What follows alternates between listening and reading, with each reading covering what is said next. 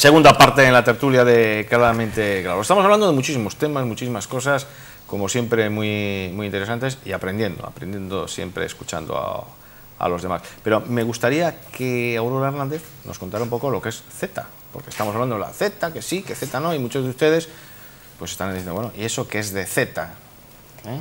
Bueno, el Z es un tratado de libre comercio entre la Unión Europea y Canadá. Bien. Al estilo del, tratado que, es- que existe entre la Unión Europea y Estados Unidos, el TTIP. Eh, hay otro eh, parecido, pero con objeto distinto, que es el TISA, que este afecta a los servicios. eh, y en este están Estados Unidos, eh, eh, la Unión Europea y otros 20 países más. más. Y luego está el EPA también, eh, el EPA que es de la Unión Europea y Af- países de África y Pacífico. Bueno, en definitiva, en definitiva todos estos, eh, todos estos tratados de libre comercio tienen un punto en común, ¿no? Eh, eh, que nos debiera de preocupar, que es la forma en la que están siendo negociados, de forma antidemocrática, porque eh, los ciudadanos eh, no nos estamos enterando absolutamente de nada. Se están negociando de puertas cerradas, eh, no están haciendo pública además la documentación, porque por lo menos es que nos dejen, deberíamos de tener derecho como ciudadanos, ya independientemente de la ideología que tengamos, ¿no? Eh, ¿qué, qué contienen esos, tratados. Y, no se está haciendo así no se está haciendo así. Entonces ya eso pues hay, que ponerlo ahí en barbecho porque son, ya os digo, ponen en peligro la democracia. Y bueno, el Z, mm, es similar a- al, TTIP, bueno, tenéis alguna diferencia, pero vamos a ver, em, yo quiero centrar el tema en lo siguiente. Este, mm, el Z nos debiera de servir como excusa para mm, replantearnos, ya desde el punto de vista de la socialdemocracia, ¿vale? un tema que sería la gobernanza de la globalización la gobernanza de la globalización, porque eh, cuando em, el Partido Socialista ha dicho eh, me sí al Z, luego mm, no y ahora abstención, no, más que esa crítica, se nos ha criticado porque eh, incluso han llegado a decir que somos proteccionistas, que queremos ser proteccionistas como Trump, que Trump ya sabéis que dijo no al TTIP. Y entonces, em, plantear el tema así es un gran error, ¿no? porque eh, aquí en ningún caso se discute el contexto en el que vivimos, que es global. ¿no? Pero es curioso, yo tengo una asignatura en la facultad que es Globalización y Derecho, la imparto en el grado de Relaciones Laborales, y es cierto que la globalización se ha estudiado desde distintos puntos de vista, ¿no? el económico, social, el jurídico, pero ¿y el político? ¿Quién gobierna la globalización? ¿Vale? Entonces yo creo que estos tratados debieran de servirnos como excusa para ponernos mano a la obra y por eso no hay que avergonzarse a la hora de decir no al Z. Porque mm, decir, un tratado de esas características no se puede firmar en blanco. Máxime cuando hay en juego eh, bueno, pues derechos de los trabajadores, cuando se pone en juego el medio ambiente, el reparto de la riqueza, cuando son tratados que detrás de ellos están las multinacionales, eh, bueno, donde se rompen los intereses, es decir, donde poco se mira al ciudadano, donde incluso se ponen en juego eh, servicios públicos como son la educación, la sanidad, em, ojo, donde incluso cuando surja el litigio entre inversores, empresas y Estado, eh, se va a obligar a los propios Estados a acudir no a, tribunales eh, públicos, sino a jurisdicción privada, a tribunales arbitrales. Es decir, mm, bueno, esto habría que eh, someterlo a barbecho, reflexionar bastante y no, y no negociarlo en un despacho ajeno a la ciudadanía. ¿Eh? Porque claro, los ciudadanos eh, es que nos centramos de nada, es decir, cuando ya están firmados, ¿eh? aquí los tenéis. novedad. Entonces, claro, entonces una cosa, en el, eh, respecto al Z, sí que es cierto que lo ha mencionado Rafa, había cierto male- malestar por parte de los euro- eurodiputados del Partido Socialista, porque sí que habían estado trabajando y luchando durante estos últimos años, eh, mm, enmendando el, el tratado. ¿eh? Se habían introducido mejoras, como socialistas que somos, ¿no? En el tema de derechos de los trabajadores, también el tema de medio ambiente y en el tema del, del tribunal este de arbitraje privado. ¿no? Y se había llegado a sustituir por un tribunal público. Eso es lo que he leído, ¿eh? que yo sé lo que sabe cualquier otro ciudadano Sí, claro. por la prensa. Es decir, ¿eh? y, rebuscando mucho. E incluso me he visto la dificultad de cuando yo lo explico en clase de esto- este, este tipo de tratados, Es que que, me las he visto y me las he deseado. Es decir, que hay mucha información, pero hay que también, hay mucha favor, hay que filtrarla. ¿eh? Hay mucha información en un lado y en otro, a favor y en contra, que claro, para todos los gustos. Y al final, es decir, sacar una conclusión propia es difícil. Bueno, no, que te iba a decir que información no, hay muchas opiniones, E, no e información de la desinformación. que no es lo mismo. ¿Eh? O sea, Información de la información real del acuerdo y del alcance no está fácil dar con ella todavía. pero hay Lo que hay muchas opiniones a favor y en contra. hay un dato que te voy a dar que os va a encantar. Que os va a encantar. Eh, todos estos tratados se han, han ido surgiendo el TTIP, el CETA, el EPA, el TISA, en paralelo a, la- a lo que estaba pasando en la Organización Mundial del Comercio Mm, ibas a Oh, con los países me- menos desarrollados, ¿vale? Porque los países eh, menos desarrollados eh, lo contempla así, los acuerdos que están en, en la- en la Organización Mundial del, eh, del Comercio se benefician de una cláusula que es la cláusula de nación más, más favorecida, ¿no? Y entonces esto a las grandes potencias pues como que no, le- no- no les interesa. Entonces, todos estos tratados, todo este conjunto de tratados se ha llevado a cabo, se ha celebrado para, para impedir que los países en vías de, de desarrollo, que están favorecidos pues, por estos otros tratados de la Organización Mundial del Comercio, se favorezcan. Es decir, dicho en otra, de otra manera, para seguir machacando a los países pobres. ¿Qué me dices? Así es. ¿Qué me dices? cosa más rara, ¿no? Qué, cosa Qué más bonito. rara. Por eso os decía que todo esto nos debería de servir para reflexionar, en general, con independencia de nuestra ideología, sobre la gobernanza de la globalización. A la globalización habrá que ponerle, no sentarnos y poner unas normas, porque a día de hoy no hay normas. Y si las normas van a ser estas, apague y vámonos. Hombre, yo- es lo yo- que quiero decir, que esas son las normas, realmente. Y las normas se supone que se están discutiendo en la Comisión Europea, se ha votado en el Parlamento, ahí participan los Pero de, partidos aquella, políticos. pero de aquellas maneras. De Bueno, aquellas pero como- maneras, como, porque- cualquier otra norma que se está discutiendo en, en la Unión Europea, eh, los partidos políticos, para eso tenemos allí los eurodiputados que estarán informados, que podrán hacer sus alegaciones y opinar y luego votar. Claro, los ciudadanos eh, en ciertos temas, pues eh, el desconocimiento que tenemos, podemos dar una opinión, pero no, no de expertos, pero eh, los que nos representan a cada uno de ellos, pues eh, se supone que están estudiando los temas y, y votarán eh, lo que consideren. Entonces yo creo que la representación de los ciudadanos sí que está a través de los eurodiputados. Otra cosa es lo- el contenido de, ese- de esos tratados, que yo creo que en el caso de, del, em, de Canadá, pues tampoco para España lo veo yo que sea tan importante, porque yo creo que representa el, el 0,5% de las exportaciones españolas, más o menos. O sea que que no es que sea, yo creo que se ha hecho un mundo en este, en este momento sobre, eh, sobre este tema, pues porque el PSOE en este caso pues ha querido coger la bandera de Podemos una vez más y se ha formado todo este lío, pero si no, igual había pasado totalmente desapercibido. Si hubiera estado gobernando el PSOE, esto ni se hubiera enterado prácticamente nadie ¿no? del tema. CETA. Estaba yo pensando que, ¿os acordáis cuando votamos eh, la adhesión a la Unión Europea, no? ¿Sí? No. ¿Sí? La adhesión a la Unión Europea. no Al mercado común, a la Unión Ah, Europea. No, pero que- Ah, ah, Ah. No, que me estaba, yo estaba pensando No, de la OTAN. pero. No, la votamos. Pero No si la es que, votamos, si ¿no? es que- Entramos en la Unión Sí, Europea claro, por que me estaba mediante una negociación y un acuerdo, pero el pueblo español no dijo que sí ni que no. pero si es, Es que, decir, no hay razón. Luego este votamos- tipo de tratados. Es que yo Sí. eh, quiero romper un poco, vamos a ver, ¿no? el tremendismo nunca es bueno, Aurora. Entonces, yo entiendo lo que tú dices, tu postura, y la comparto en parte. Hombre, a mí me cuesta creer todavía, ¿eh? soy un ingenuo, ¿eh? que haya un grupo de señores como nosotros que de repente se junten eh, para diseñar algo, pero con el claro objetivo de fastidiar a otros. No de mejorar nada, sino de fastidiar a otros. No, yo quiero creer que eso no ocurre así y que además nuestros eurodiputados no colaboran en algo que a priori, si unos paisanos de la cuenca del Besaya estamos hablando aquí y poniendo en tela de juicio eso, ¿m? y nos damos cuenta de esa posibilidad, ya quiero creer que nuestros eurodiputados también, y que entren al juego de decir, esto, por más que lo en- enmiendemos, con N, ¿eh? Eh, eh, mm, mm, a los países estos les vamos a... No, no pueden ser tan, tan deshonestos ¿no? con la política y decir, bueno, aquí Angola, Mozambique, no sé qué, pues van a salir a los pobres muy asfixiados, pero lo vamos a hacer de todas formas. Yo creo que no, yo creo que no. Y te voy a decir una Rafa, cosa. Rafa va a ir al cielo, te estás dando Eh, cuenta. no, es Tío que bien está ganando, intencionado. está ganando. Es un bien intencionado, me Con- encanta. Con, No esto, con eso. esto llevamos desde mediados del siglo XX. Cuidado que, países. que ya entiendo que ya entiendo que lo de siempre, ¿no? Que el dinero y el capital y las multinacionales tienen mucho peso en todas las sociedades eh, occidentales y, y defenderán sus intereses, ¿eh? no los del país, sino los suyos. Que a veces defender los suyos es eh, chocar contra los Sí, sí, intereses de la ultra multinacional o del propio país. Pero no, no voy por ahí, yo creo que lo hacen de aquella manera, ¿no?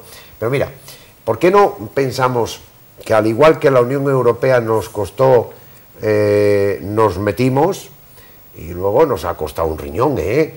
Los primeros años han sido muy duros, ¿eh? Acordaros de las reconversiones que tuvimos que acometer en este país, los gobiernos, etcétera, y, y reubicarnos dentro de la Unión nos ha costado y nos sigue costando, sobre todo a regiones como esta donde la ganadería salió siempre muy perjudicada y no nos hemos recuperado de aquella, ¿eh?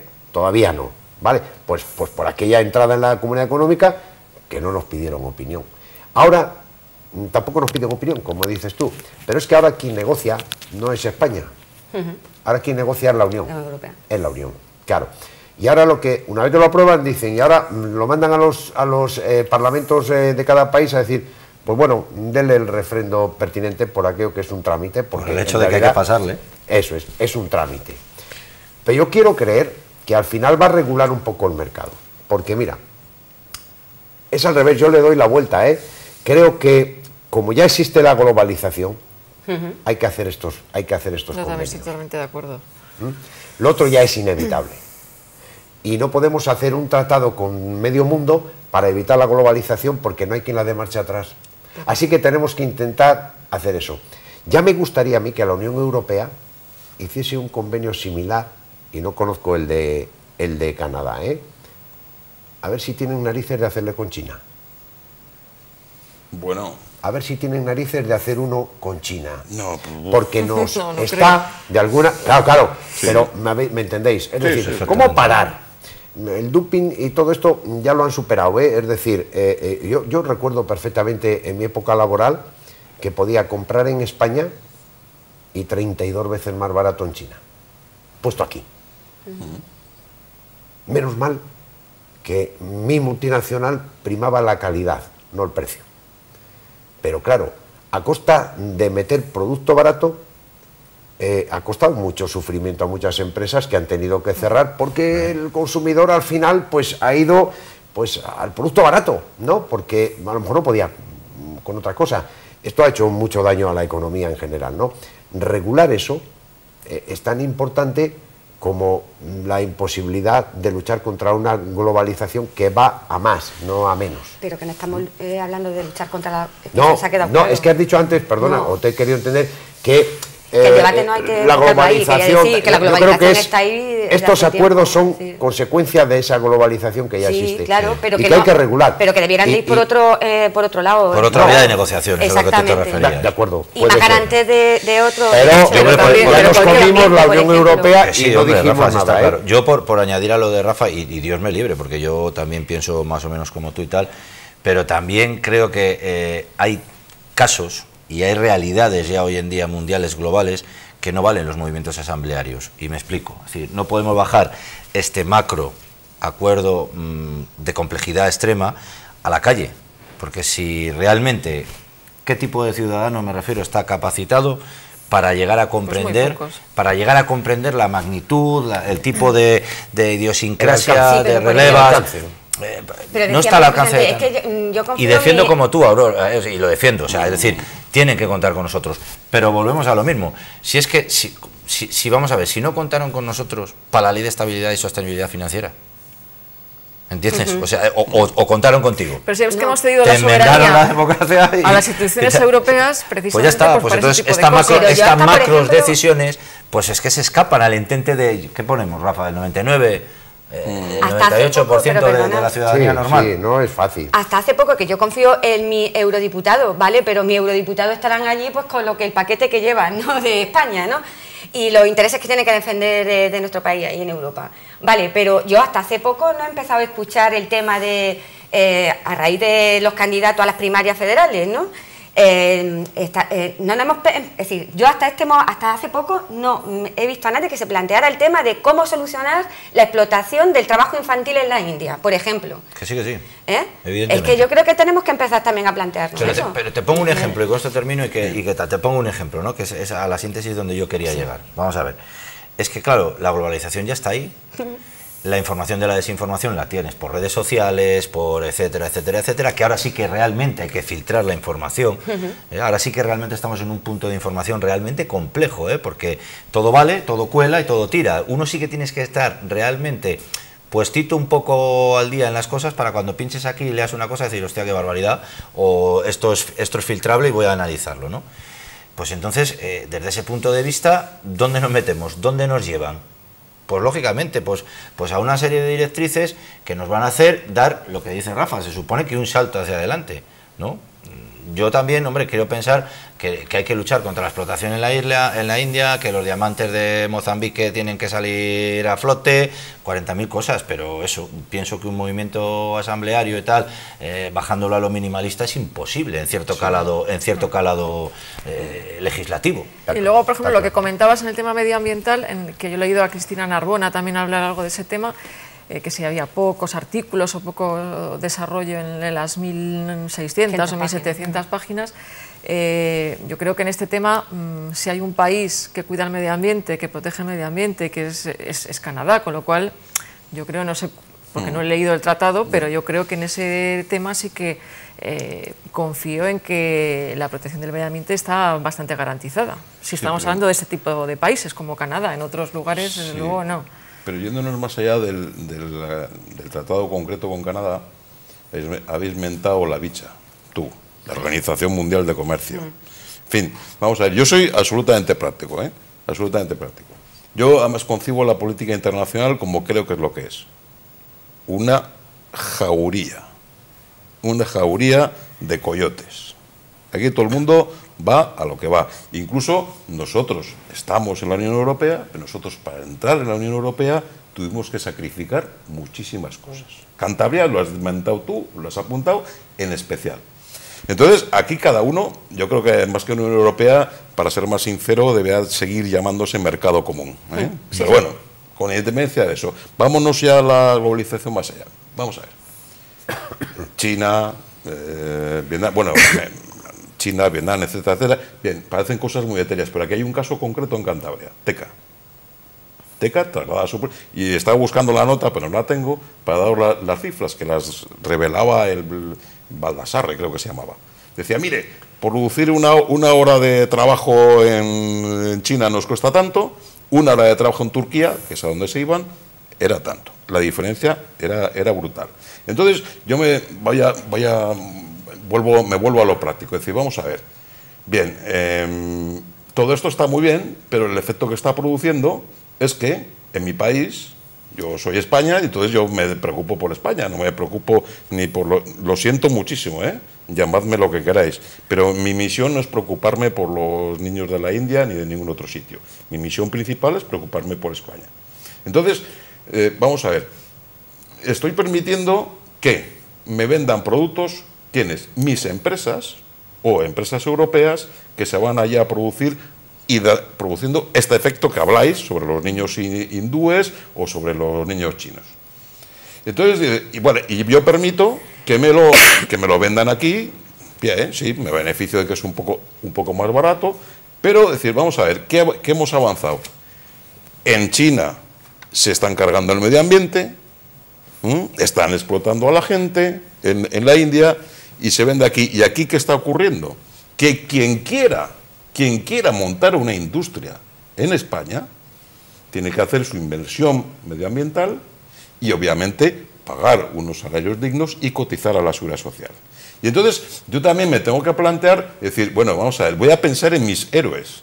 Mis héroes son los que se les ocurre mantener una industria en España. Dice, oye, tú estás tonto, ¿para qué vas a montar una industria en España? Vete a montarla a China o vete a montarla a Marruecos, que está ahí cerca, y vendes aquí como, como un campeón. Dice, oye, vamos a empezar también a preocuparnos de algo parecido a un comercio justo. Es decir, vale, mire, usted está en China, perfecto. Usted se va a beneficiar, por ejemplo, de, te- de pagar salarios más bajos. Usted se va a beneficiar de que quizá los costes de allí, no solo salariales, sino de otro tipo, son más baratos. Perfecto, igual que España hizo en su día.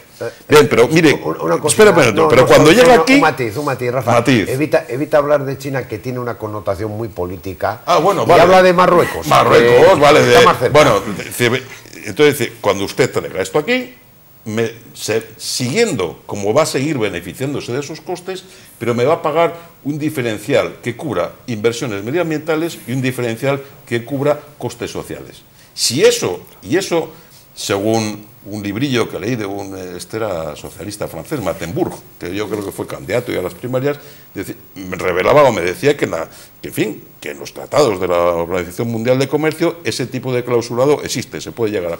Y entonces dice, oye chico, es que lo de, lo de España es un poco que nos tenemos que mirar muy bien. Aparte de todo este efecto que, eh, que es común a toda Europa, encima nosotros tenemos la electricidad más cara de toda Europa para una industria. Es decir, chicos, ¿por qué no empezamos a, afrontarlo, a afrontar los problemas en, en serio? Yo es que no le veo ninguna ventaja a esta historia. Y además estoy harto de ver fotografías. Lo siento, Rafa, eh, las fotografías son de China, en la cual la gente va por la calle con mascarillas. Sí. Shanghái, con mascarillas por la continuación. Y yo, ¿de qué me sirve a mí? Mira qué, qué locuras, no, qué locura, no sé, qué intensidad ha habido en Cantabria con temas de fábricas señeras, bueno, pero la Vega aquí se hace, solo hay con temas medioambientales. Es decir, Sí. joder, pero ¿para qué, me- ¿para qué nos preocupamos tanto? Si luego la atmósfera no es la misma, pues en algún momento no desaparece. Llegar aquí, dice, estamos tontos. Yo creo que debemos de empezar a, a- a pensar en, esta- en estas cuestiones. Ojo, respetándoles eso. Vuestras ventajas son producir allí porque es más barato, perfecto, pero a mí me tienes que repercutir. O, yo es que os voy a contar una anécdota. Una afamada marca de maquinillas de afeitar tenía su fábrica en, en Sevilla. Sí. Sí, sí. ¿Mm? Sí, sabemos de quién habla, sí. Vale, ¿qué hizo esa, qué hizo esa fábrica? Dice, ¿cuánto cuesta despedir un trabajador español? ¿45 días por año? Dice, ¿qué coño? 65 días por año. Y se fueron, en ese caso fue a Malasia. Siguen siendo los líderes en el mercado español y yo me fijé que los precios tampoco bajaron demasiado. Entonces, bueno, pues yo como soy así de friki, decidí no vuelvo a consumir jamás en mi vida un producto de esta, de esta compañía. Y me dejé barba. No, no me dejé barba. Hay otras marcas. Hay otras marcas, curiosamente. Incluso, os voy a decir una cosa.